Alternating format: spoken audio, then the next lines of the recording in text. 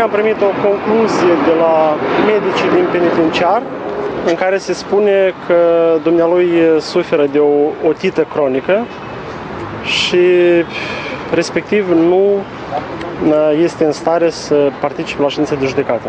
Dar în lipsa dumnealui nu era posibil să... Nu, nu. În această fază de judecată nici cum.